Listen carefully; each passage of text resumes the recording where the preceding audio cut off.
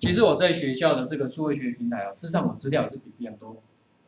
很多同学上到我课啊，老师原来我可以不是要不要只有交作业，我就今天简到简报一开始就跟各位提到，很多这种平台，大家学生一进去，老师啊我又来交作业了，就只有这样而已，交作业跟改分数哈，所以很无聊。但是我的上面都发，你看我上课录影片，哪一周上什么有没有？但是我偶尔也会出锤哦。没录到声音，有看到哈，偶尔啦哈，但是现在失败率比较低一点了。那点进去，以前我是连那个这一节课介绍什么都放在上面，但是后来觉得这样稍微比较乱一点了，所以我就稍微进来之后才放。你看我有放云端一点，有放这边，又有放 YouTube 有没有？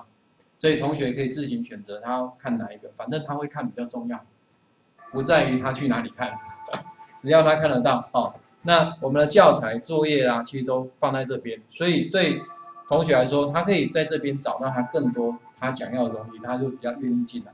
但是我后来发现，我整理了很多，可是，点了，我被熊回去，同我打工同学，我们今天来看教材区里面的哪一个的哪一个，给个同学们打工，老师你的，明明就站在前面，他是看不到，对不对？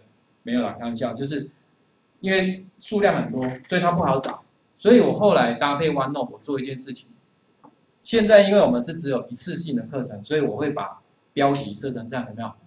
可是如果我是属于那一种，就是这个，你们看一下。如果我是属于常态性的，可能我就不用这样做，因为这样子不容易聚焦。我们今天要上什么内容？主题很清楚，比如说我要上这个，我就在这边。任务里面有没有第一堂、第二堂、第三堂？哪一堂课上什么内容？这样是不是就可以很清楚了？对不对？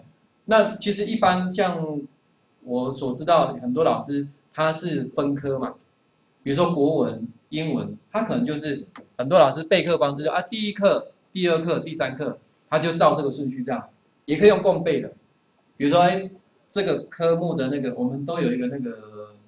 就是那个科目群的老师嘛，对不对？哎，老师你准备第几课到底啊？他准备第几课啊？大家就一起用，这样也可以。观众可以做到这样，所以可以用这样。那这样是不是我这些教材其实还是来自哪里？来自我那个学校数学学平台。可是我把它整合在一起，他两边都可以看。但是呢，他看这里的时候，我可以很清楚知道，他一进来就知道我这次要上什么。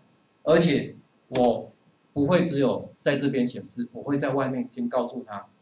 来，我看一下，在这里，你看哪一周要上什么？我往下看一下，更多。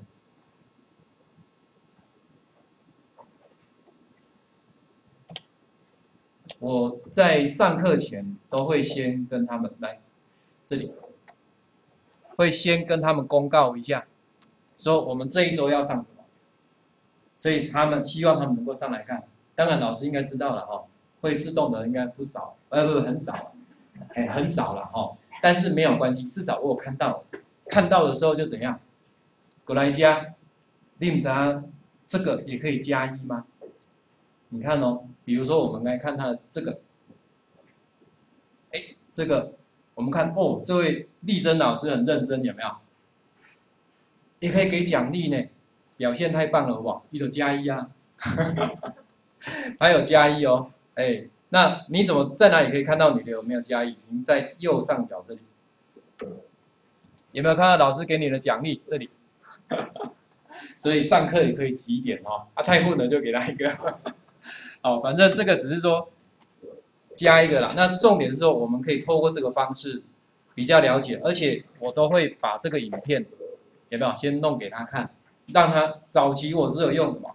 只有用文字，但是我发现效果比较差，因为同学没有看到到底要做什么，只看到你写文字，对不对？所以像这样子，那甚至呢，我以还会做一件事情，这个是这样，对不对？甚至我会把以前的影片，因为我我已经录很多年了，我会把以前的影片跟他讲说，哎，你在预习的时候，你还可以看一下以前的影片，我给你看一下，我进另外一个课程给您看。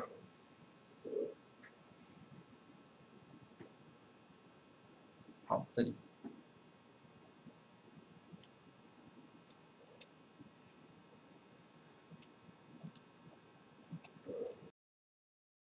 好，我会像这样子告诉他说，我们这一周的进度是什么？然后去年的录影片有没有？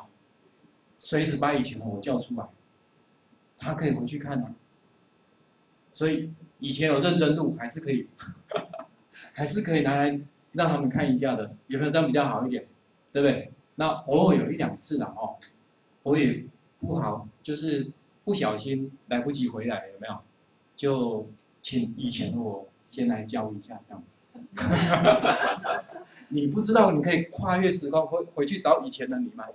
对呀，所以也可以这样用一下，你不知道。哎，所以录影事实上是有好处的啊。事实上，我回去通常还会稍微简单看一下，大部分是干什么？就那个标题，还有那个内容有没有弄好，但是不会花很多时间的，主要是标题修正一下，因为有时候我都是录影的时候，就像刚刚各位看到一样，我都是先给标题。可是也许我这个主题会再讲长一点点，或者增加或减少，那我回去就再稍微调整一下，就把那个稍微调一下就好了。好，所以刚开始比较辛苦，你会不习惯，但是被操劳久了之后就会的。哎，真的，其实老师可以参考看看，因为也蛮不错的方式啊，就是看您的这个使用情形，每个人怎么样没有关系，但是重点是找到老师最适合的，你觉得最顺手的，那就是最 OK 的。因为其实像这些东西啊，虽然我讲了那么多，对不对？但是有一个很重要的，我们在教学面很希望跟同学互动跟回馈，没错吧？很多同学问我说：“老师，那我们毕业之后这些资料或者课程结束了，这些资料会不会留？”那代表一件事情，他觉得这个资料对他有帮助，对不对？那所以我这些资料我都会继续留着，我不会说因为课程结束我就关掉，因为学校也会关。可是我这边呢会继续留着，会继续留着，好，所以这是给大家稍微了解一下，说，呃，可能一般的这种所谓的平台，哦，这种数位学习平台跟 OneNote 它比较不一样的地方。那当然，OneNote 还有个很大优点就是学习的那个什么很容易。有没有发现老师这样使用上稍微用一下是不是就会了？对不对？等一下我们就真正让老师来建立自己的群组试看看哦，好不好？来。